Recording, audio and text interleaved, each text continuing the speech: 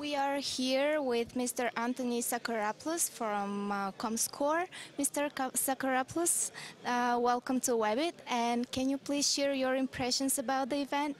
Sure. Well, thank you very much. And on behalf of ComScore, I want to thank you and the rest of the organizers for having us here.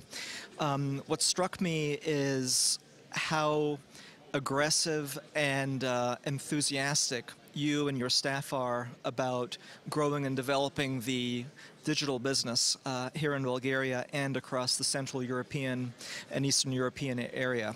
And it's something that, obviously, based on my presence here as well as others on the panel, other attendees, I think also highly value. Thank you. Which are the most important emerging trends in the digital metrics, and how do you see the future? I think there are quite a few uh, emerging trends and uh, specific issues, but just to go back to the topic of the last discussion, uh, we at ComScore strongly feel that this reliance on the click and the click-through rate is at this stage in our trajectory, and by that I mean our internet trajectory, is materially holding us back from a lot of spending that we, again, as an industry, are leaving on the table. And it's something that we're working very, very hard with our clients across the entire ecosystem, as well as with industry bodies and whatnot to try and address. Okay, do you think there is better alternative for the CTR model of measurement of the banner adver- advertising?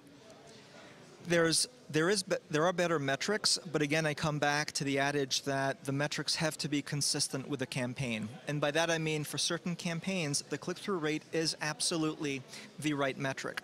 For certain other campaigns, and I come back to what I just said about branding, there are other better metrics, such as whom did you reach, was the ad visible, in which country are these people living, uh, what was the content adjacency, did the exposure to the ad drive any brand building metrics from an attitudes or persuasion or intention standpoint? And lastly, of course, was the ad effective? In other words, what was the ROI of exposure to that display campaign? And these are metrics that, again, collectively speaking, we as an in- industry are grossly, grossly underutilizing. And I come back to what I said earlier that this is in our opinion, one of the key issues that are holding back our collective growth opportunities.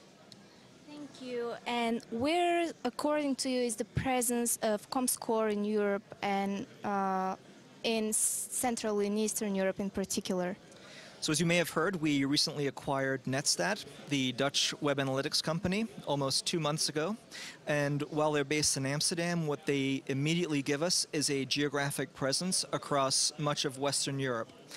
We've also invested in staff uh, within within Turkey over the last year, and what we intend on doing is pursuing a regional slash hub strategy of development not only across Western Europe but across Eastern Europe as well.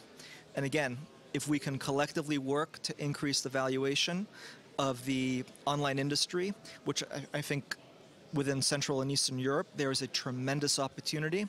You'll see more of a ComScore presence here. Thank you very much. It's such a pleasure to have you here, and we hope we see you next year again. I hope so too. Thank you very much.